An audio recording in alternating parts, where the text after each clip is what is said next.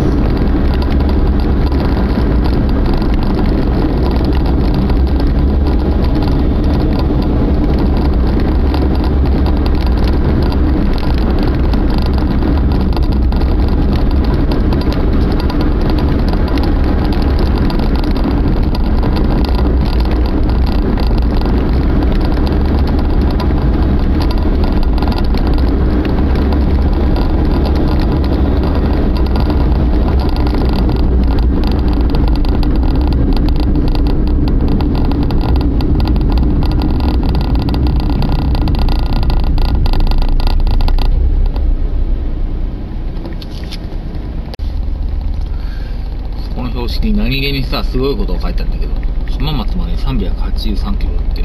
42号線って何？浜松が起点か終点ってこと？どういうルートで来てんだろう？俺様が来たルートではないと思うけど俺様も今日浜松通ってきてるけど多分全然違うルートだと思うんでどういうルートなんですか？